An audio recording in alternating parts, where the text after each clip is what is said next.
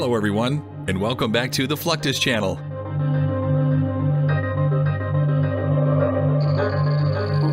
Few aircraft in the history of flight have been more feared or more important than the Lockheed U-2 Dragon Lady.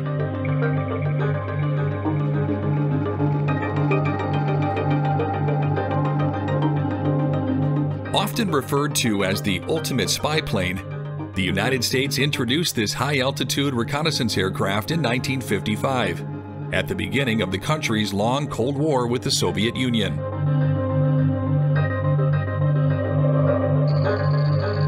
Unlike most conventional aircraft, the U-2 was explicitly designed to fly at extremely high altitudes to avoid enemy detection, often well over 70,000 feet.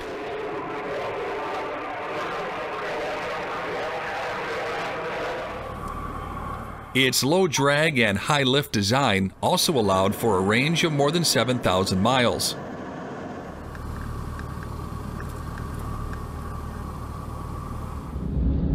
Most surprisingly of all, despite its age, the U-2 is still flying today.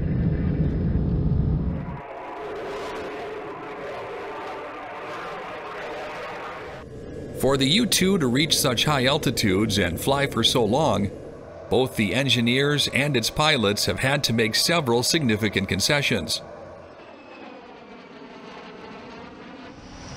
The first and most notable of these is the landing gear.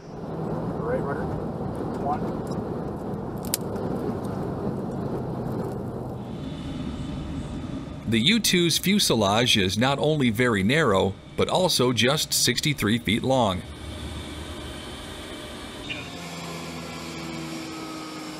However, the plane's wingspan is more than 100 feet wide.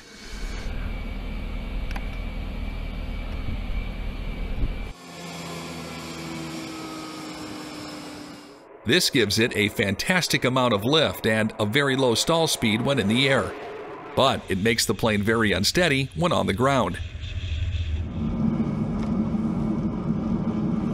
Moreover, Due to weight limitations and the aforementioned narrowness of the fuselage, the U-2 only has two wheels arranged in a bicycle configuration.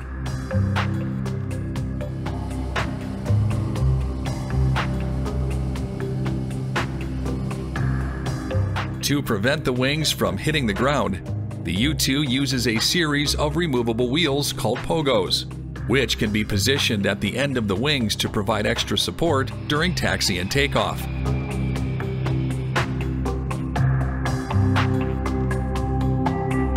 When the aircraft lands, however, it must simply slow down as much as possible before inevitably leaning to one side.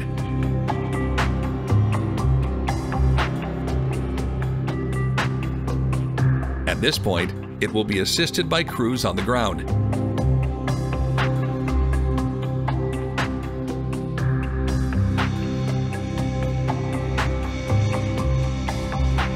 Even with the addition of the pogos, pilots do face difficulties controlling the U-2 during takeoff and landing.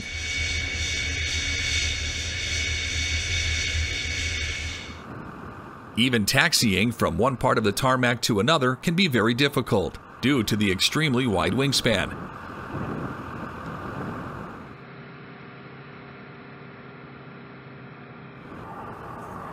Adding to the control difficulties is the fact that the pilot has minimal visibility. The cockpit of the U-2 is situated at the extreme front of the aircraft, providing a very limited forward field of view.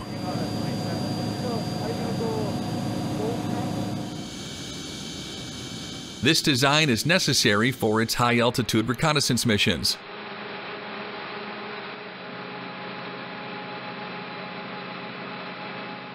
However, during takeoff and landing, it can be challenging for the pilot to see the runway directly ahead.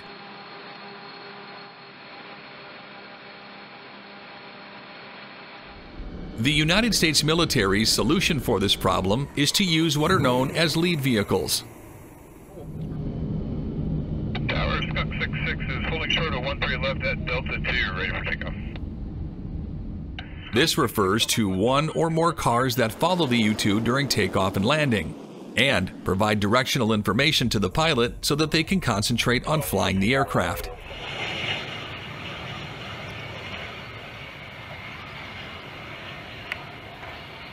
All of this means that operating a U 2 is by no means a one person job.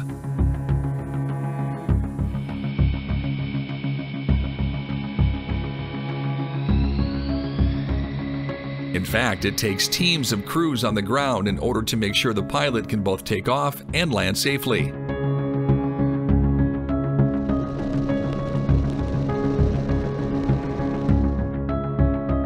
Once the U-2 is on approach, the lead cars will follow it very closely to provide directions to the pilot as to their heading and when they can touch down safely.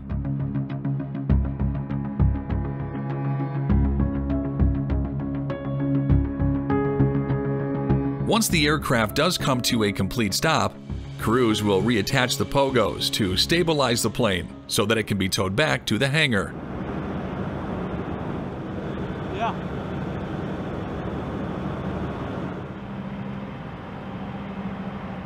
Despite the U-2's incredible 7,000 mile range, the United States has long considered options for increasing the plane's ability to penetrate deep into enemy airspace.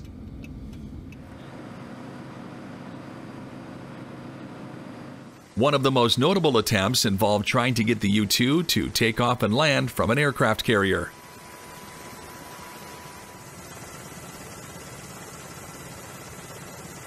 During a test known as Operation Overflight in 1960, a U-2, piloted by CIA pilot Bob Schumacher, made a successful launch from the USS Midway off the coast of California.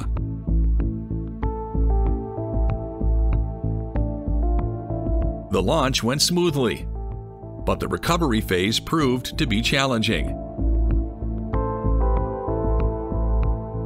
The U-2's glider-like characteristics made recovering on a carrier deck difficult.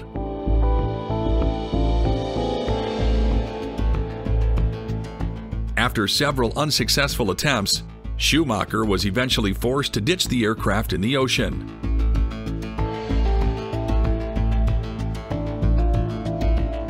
Several years later, the plane's wings were reinforced, and it was fitted with a sky-like structure on the undercarriage. Though this proved slightly more successful, the ongoing difficulties and loss of several planes forced the military to discontinue the process. Though it may happen dozens of times a day, every takeoff and landing on board an aircraft carrier represents a critical risk to the pilot, crew, and airplane itself.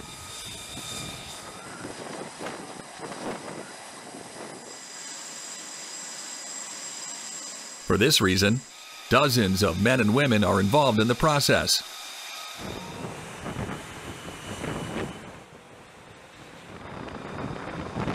This includes those on the deck itself, those in the bubble, a small deck-like structure, and those up top in the island.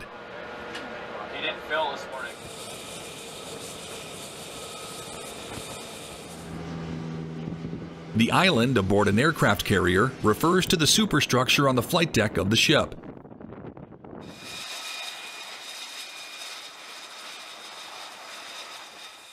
It's a tall, tower-like building that contains a bridge, flight control facilities, and various operational spaces. On the flight deck, turn each other. The island coordinator, or island chief, is more or less in charge of all flight deck operations, overseeing virtually everything related to aircraft movement, launch, and recovery.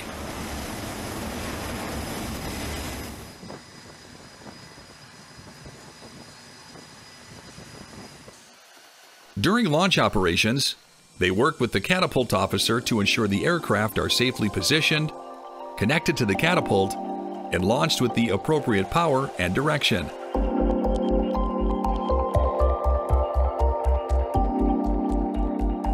During recovery operations, they work with the arresting gear officer to guide incoming aircraft safely onto the deck.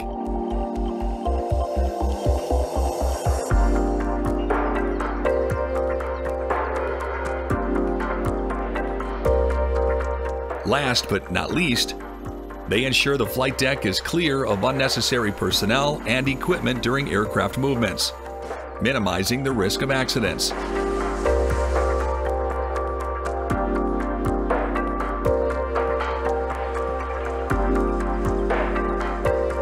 Essentially, an aircraft carrier island is very much like an air traffic control tower found on land. 330 to the right, ma'am. Arrow, Blair, passing heading. Blade pass heading's on, ma'am. However, the men and women who operate both military and commercial control towers generally have to concern themselves with many more planes, helicopters, and other traffic.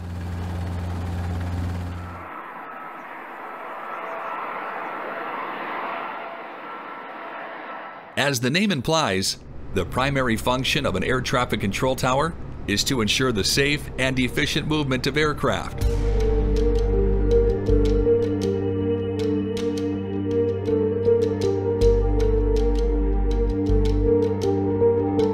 Much of this activity is isolated to the control cab, situated at the top of the structure.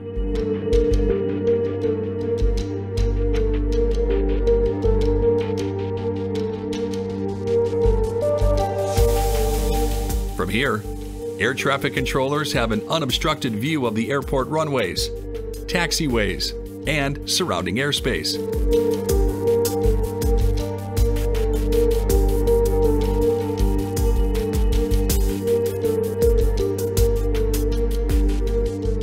Men and women direct aircraft during takeoff, landing, and while taxiing on the ground, preventing collisions and maintaining safe distances between aircraft at all times.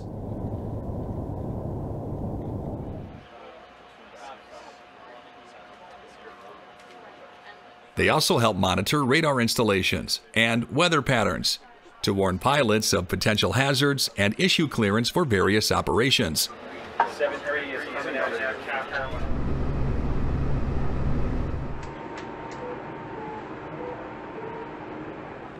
All commercial airports are designed to operate 24 7. During pleasant daytime weather, visibility is generally good, and the potential for incidents is low.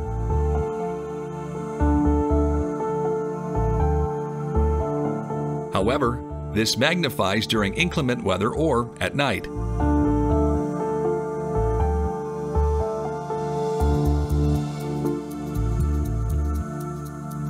For this reason, one of the most important aspects of any airport is its lighting system.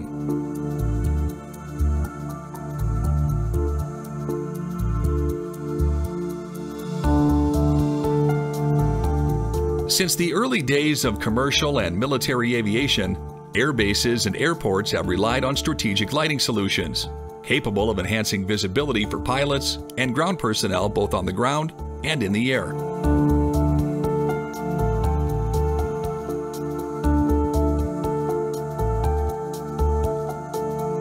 Most important of all of these are the runway edge lights, which are installed along the edges of the runway and provide a visual outline of the runway's dimensions.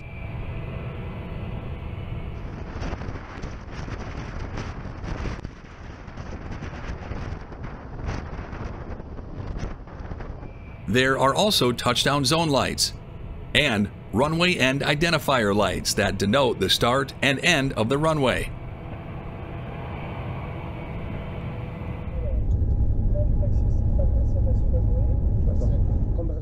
Other crucial systems include taxiway lights, approach lights, and apron lights, which all safely direct pilots in virtually any condition.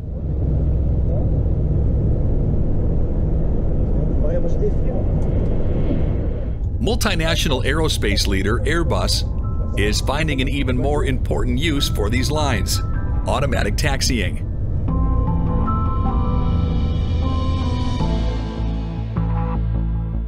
If such technological advancements continue, we may soon have the luxury of traveling in commercial planes that no longer use pilots at all.